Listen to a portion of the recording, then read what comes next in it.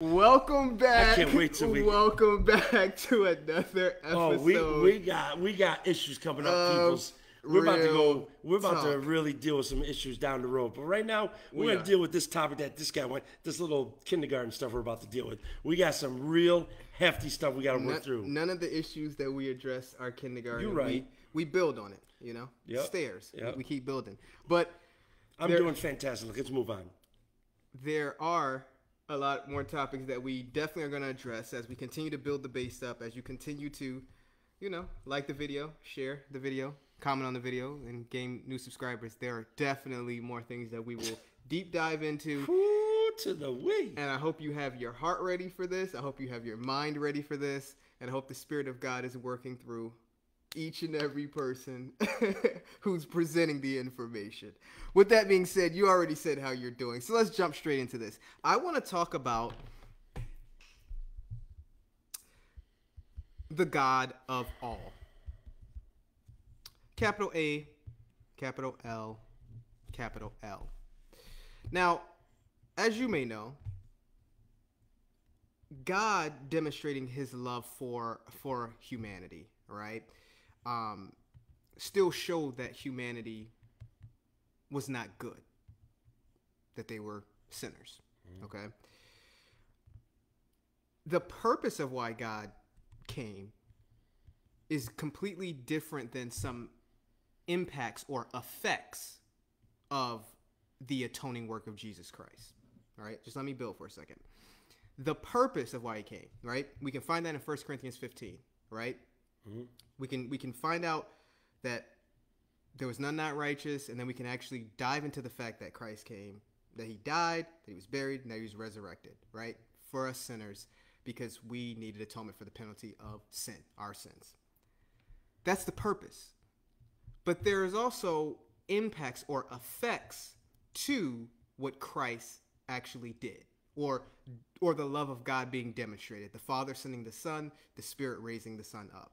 Here's what I mean by effects. We're going to talk about one of them today, which is him being the God of all.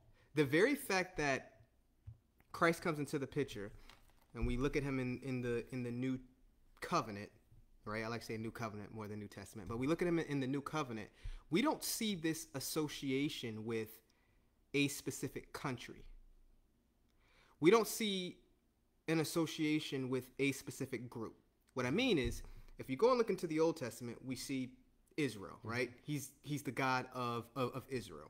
But when you start to look into the New Covenant, you see that he's the God of all. He doesn't remove Israel and still doesn't uh, remove some things that he's still going to work through them. But we see that a benefit or uh, impact or an effect of Christ's coming is that we find this diversity, but we also find this unity. And I want to talk about that. I want to I want to address that. And I want to address that also of why that's so Im- important. For me, that's just so unique when you look at other religions how it's always associated either with a specific gender or it's associated with a specific uh, language or associated with a specific type of people but i constantly look at christ i constantly look at who he's addressing who he's dealing with. He's dealing with rich people. He's dealing with prostitutes. He's dealing with drunkards. He's dealing with Samaritan, he whoever you see him constantly dealing with different people, and you see this unforced diversity. Everybody likes to talk about diversity today, right? There's this push, there's this devotion to making sure everybody understands, you know, respect everybody, and and, and to the point, um, there's some times where it's we can see it's it's it's forced, right? Um, I think we as believers don't spend enough time addressing the uniqueness of. I, I mean, is it all right to say religion? like our, our religion? I, I get it for for for a term to For- for- for term's sake. The discussion, yeah. there's there's a uniqueness there that's not talked about enough. Okay. The diversity of this religion. Yes, because you look at other religions, right? And I don't mean to harp on, but I have to look at what's dominating, right? I look at Islam and we see from their origin how this religion spread, right? It was conquering. It was by force. It was by force. by force. That's Right. clear. That's evidential. we look at even other religions such as Mormons and and and how it wasn't until the like the 70s that they allowed black uh, priests or, or people to even preach or to be recognized in their religion. So we see this like distinction of only certain people getting in or and even if you look at maybe not religions but other ways of life, it's associated to a race or an ethnicity. But there's nobody on the face of this earth who can lay claim as a Christian and say it's for us. Race wise. The ethics, yeah. Yes. The ethnicity of it, yeah. and I get it. This is not the purpose of it. It's the, the purpose of the gospel was not to create diversity for us to say, hey, God is diverse. But it also allows us to reflect on the love, the unconditional love of mm-hmm. God, distinct from other religions. Other religions have a morally deficient God. Okay. I'm with you. And because they have a morally deficient God, their God can only love a certain race. He's only applicable to a certain gender. It's only applicable to these things. I wouldn't even. Well, go ahead. I'm sorry, because I was going to say it's more than just that. Well, it's no. also more. It's also the love is arbitrary in the sense of, in order for the God of other religions to love you, you have to love Him first, or else He hates you.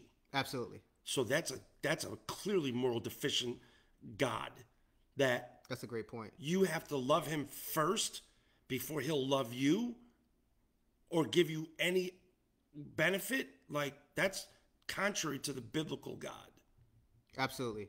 And and that's we have numerous I know people can say, "Well, I can show you verses about your God and and and and how he wanted to wipe out different people and things like that." And and we're not taking away from those verses. What my counter to that without going into those verses and explaining is how many verses talk about his unconditional love? Mm-hmm. How many verses that talk about them being sinners, them being wicked, and he still loves them? But when they use that as if God is annihilating a, a group of people that they see in the Bible, the judgments, right? Right. They're completely misinformed of that moment, of what he was doing prior to that moment. Yes, he always absolutely. sent warnings and opportunities for a nation to repent, a people to repent. He always grants opportunity for men to submit themselves back to his order rather than them walking in their own order. And so when God did use Israel to um, conquer nations, it was a form of God's judgment, not him just saying, I don't like them today, and I'm going to go and annihilate them because they haven't, uh, for whatever reason. Like when you look at it, it was based off of his judgment, not because they weren't aligning themselves with they're not an Israelite or they're not this. It's because they chose to disobey God. You with me? I'm with you. but he's always so that shows a form of his justice so again you're see, you're extracting something about the godhead or his character and create a deficiency there that really isn't, a deficiency at all. Because he's actually addressing uh, like you said a justice system. We live in a world a, a society today where if somebody got away with something we are highly Angry. upset. Angry. I, give him the death even up to the point give him the death penalty. Mm-hmm. Well when god institutes the death penalty mm-hmm. then there's an issue mm-hmm. that he's not loving. But that that also brings out another point about god being this God that's equal and fair. Uh, another thing about having this diversity and this being this God for all is that there's this fairness across the board that God is revealing himself equally to everyone. yes There isn't this to the Israelites, I'm going to give you special revelation. To the Gentile, I'm not going to provide you anything. Just go and get this information from them. You you see God being able to allow from Bible even up to early church history, God working through the means of this. And to me, this is so important because you look in society today, right? Everybody's trying to figure out which religion uh, shows the most loving God, the most merciful God, the most uh, forgiving God. What's the God that allows us to be free in our in our in our will? What's the God that that you know can show that he, he created me in, in his image and his likeness and, and, and all these things like that? And I constantly keep running into who who's the God that's that's that's the most diverse? Who who isn't a misogynist in in in religion today? What, what what religion doesn't have that? Every religion I see doesn't have women being being uh, utilized and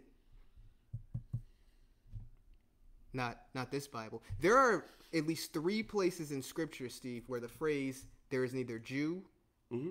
nor Gentile," mm-hmm.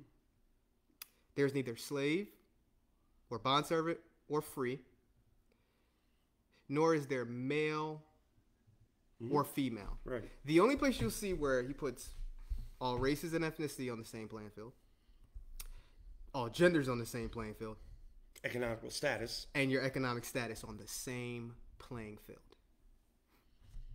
And yet, going back to my other point, what group of people can say he is for us only? Mm-hmm, mm-hmm. Jews can claim him to be the God of Israel. Mm-hmm. Okay? Muslims, Arabics can claim these these things, right? Even the uniqueness in language of, of, of how much going back to the impact of God Okay. in, in, in his diversity. okay. Muslims will tell you if you don't read the Quran in in its original language, there's there there's nothing there. You're not getting the the the, True the impact. essence. You're not getting the true essence of what's this Bible, God's word. He has been all over the continents. Mm-hmm. You name them. Mm-hmm. How many languages? You name it. How mm-hmm. many from the poor person to the rich person God deals with and and addresses. Mm-hmm. How much more diversity would you want from a religion than Christianity? What is the flaws there? If you're a person living in today's society, if you're this person who's like, I don't feel like women's rights are being addressed, I don't feel like men's rights are being mm-hmm. addressed, mm-hmm. I don't feel like race is being addressed. God is putting everybody on the same playing Through field. those verses that we just read or that you addressed. Not the purpose of why he came, mm-hmm. but the impacts, Yeah, I get it. The results from him. the results. We his are death, burial, resurrection. at the same point. Mm-hmm. I feel like we miss that as believers. And here's why I say we miss that. Because if that's what we're being shown mm-hmm. scripturally, if that's what we've been shown historically, Christ is getting them to see from the parable of the Good Samaritan, Israel, how you're treating your Samaritan. Like, I know how the world sees the Samaritan. I know how. Why is it that in our conduct, even as believers, we don't demonstrate this to different races mm-hmm. or different genders? Mm-hmm. We drop this somewhere somehow. What's your thought process Because on we, we, well, you're saying basically what you're saying is the results of his death, burial, and resurrection. There should be much more of a broader impact, diversity wise, when we de- when we brand Christianity to something. So if I brand something to Christianity, there should be a plethora of diversity within that because the results of his death, burial, and resurrection produces such a playing field of equality because in his eyes we are all one, right? Right. Therefore, the those that are components or supporters of that belief system should resonate that kind of mentality across the board. There should be the sense of there is no male or female, there is no black or white, there's no poor or rich as a Christian in a sense of how our affections are measured towards those people. And so, therefore, when I'm hearing the definition, love thy neighbor as thyself, thyself isn't on the premise of me being rich and myself and my rich people I'm going to be nice to or love. No, meaning me as a human being that is created equal across the board in the sight of God. I love my, I'm going to love others as myself, meaning we're all co-equal in the sense of who we are as people before the living God. And if I understand we are all equal literally equal in the sight of the living God, then my my understanding of Christianity should be so vastly diverse. Meaning, I should be able to say anybody of any color, race, ethnicity, they're my brother who've come to Jesus Christ as their Lord and Savior. to be their Lord and Savior. I remember you talking, addressing before that you grew up in a multicultural church. I did. And you loved it. Loved it. And I did when I was younger, grew up in it. So none of these issues really were, were I paying attention to until I started to not go to that church anymore and started to see how much you're you're seeing like white church, black church, Puerto Rican church. And and I'm not knocking that depending upon what geographic Yeah. wh- whatever the uh, demographics are. Yeah. But what I'm saying is you almost shelter yourself up to the place to where it's like all right, this is how we worship, and this is how we do things. And uh, we're not gonna play the drums. We're gonna play the guitar. We're not gonna play the guitar. We're gonna play the drums. You get to this point where it's like, wait a minute, we're losing sight of the diversity here. You're losing sight of the fact we're all coming together as one. We're, we lose the sight of also, which is something more important, bearing the burdens now of things that could be going on in society. Let's say our Asian brothers and sisters in the, in the faith. Correct. Because our mindset, right? Let's say we go to all white church. All right, our mindsets are focused on something completely different, completely com- completely different political issue, cultural issue.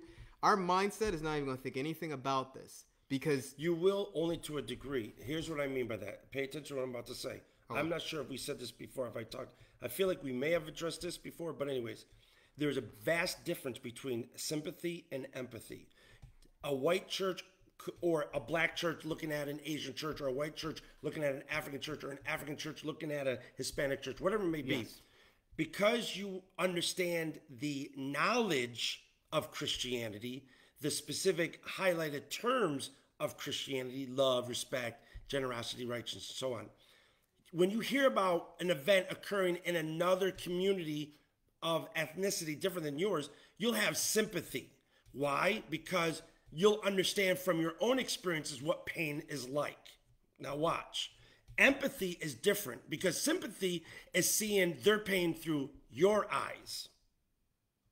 Empathy is seeing their pain through their eyes, which requires you now to dig a little bit deeper into understanding what's affecting them that's causing that pain.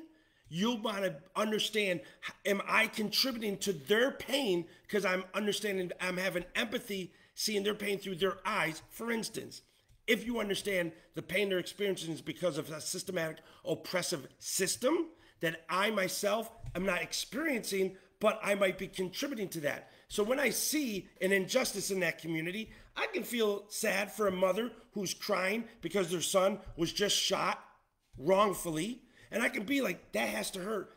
They lost their son. I don't ever want to lose my son. The difference is having the empathy to realize I'm angry for her because her son didn't have to die because the system that caused his death is affecting all of them very deeply. And I am not experiencing that oppression from that system, but I have a voice that could have helped bring change to that system. That's now having empathy because I'm feeling their pain through their eyes. You understand what I'm saying? I understand. Big difference. A big difference. Just because you can associate with somebody's pain through the, your lens has nothing to do with you acting on it, right? Because something's going on over there that your lens doesn't have a lot of distinction in it. So therefore, you look through your lens about their pain by saying, "I would never want that to happen to me." Oh, oh I know it's that, that must be hard because I couldn't imagine me losing my family member or whatever. It's different when your lens is painted with empathy and your lens looks through that, uh, your eyes look through that lens regarding that pain, and you understand why they're crying, why they're angry, why there's that kind of uh, uh, uh, attitude going on. And I see how I might be able to help now because I'm seeing their pain through their eyes and I'm feeling that burden now. I could act on that. That would be true diversity. which would require uh willingness to have the spirit of God really convict maybe some cultural upbringings, maybe how Yes. you may have lived, you know, growing up. You're nurtured into that lens. Yeah. You're nurtured into that like I'm, lens. I'm nurtured to only see Yes. certain struggles Yes. based upon where I grew up. Yes, and how they affect you, and you, you'll let those affect you deeper that you might act on them. I can still see somebody's struggle and pain because I'm looking at it through my lens, right? Like a daughter, daughter, they lost their daughter. I wouldn't want to lose my daughter. I feel it. But am I angry enough because I see through their lens of them crying because how they lost that uh, loved one was through a system that is oppressing them systematically over and over again, repeatedly? That now my lens I see through now realizes I could do something about that.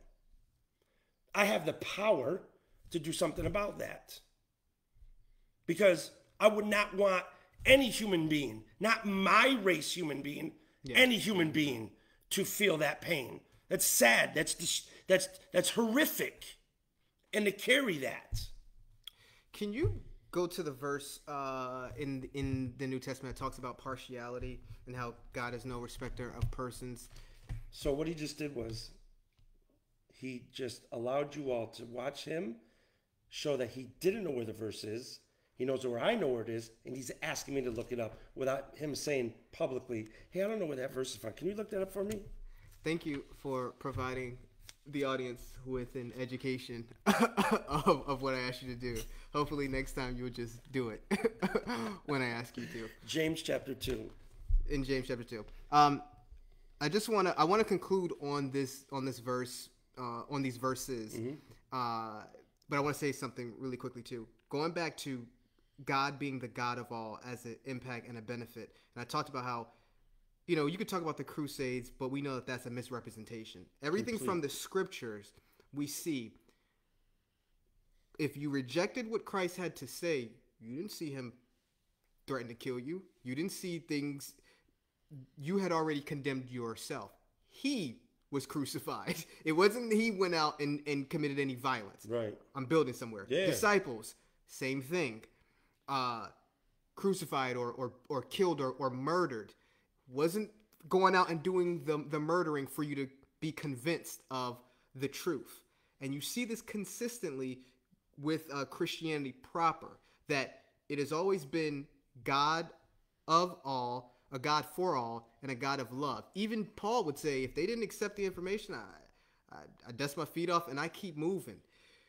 For us, I think it's just so important to always understand the impacts of what God did and and how he's consistently not a moral, morally deficient God and and how we can consistently show diversity.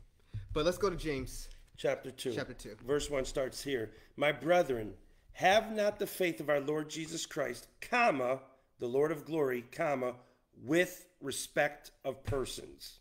For have not. Have not. Yes. That's what I said. Yep. Have not the faith of Jesus Christ, who's our Lord and Savior, have it not with respect of persons, yes. meaning yoked together with saying, I believe in Jesus Christ as my Lord and Savior, but at the same time, from the same consciousness, you have respective persons. Yes. It goes on to say, For if there come unto you an assembly a man with a gold ring and godly apparel, right? And there come in also a poor man in vile raiment, meaning clothing, and you have respect to him that wears the uh, gay clothing or the happy clothing, and say unto him, Sit thou here in a good place, but say to the poor, Stand thou there, or sit here under my footstool. Question is in verse 4, here's what he says Are you not then partial in yourselves and are become judges of evil thoughts? Hearken, my beloved brethren, have not God chosen the poor of this world and so on? But what he shows is, is that individuals at this time in the church actually were carrying themselves or conducting themselves with a mentality of they feel good about having faith in Jesus Christ, but with the same consciousness, they were able to distinguish in their mind two sets of people, the poor and the rich. And they, at the same time, assessed how they would behave based on what they saw upon the person, a poor person or rich person. The rich person they respect and they greeted gladly. The poor person they did not respect and shunned and pushed them off to somewheres in a place in the congregation that was considered less seemly, meaning less uh, appropriate, kind of like, you know, peons. Right. And here we see the Bible referencing do not have Don't this type. have that kind of faith. And then we know it there's some other verses uh, at least in the Old Testament that God talks about how he's not a respecter Correct. of persons or for partiality. So I just want to bring this up as a mindset, if you're a believer, to really be thinking about if God really died for all, right? For those, I mean, he for everyone, even the people who rejected him, then that's the character in which we should go out demonstrating towards other people, especially amongst our unity as believers. If there's a burden going on, if there's an immoral thing happening to a certain group of people, but we know this is impacting our brothers and sisters in the faith, then our mindset should should bear this burden. Our mindset should be there. It shouldn't be, well, you know, God will take care of that. That's the part of this uniqueness of this religion that we are the most diverse religion because we have a God who's the most morally sufficient God and who's the most loving God. So think about that. Think about when you read verses about every nation, every tribe.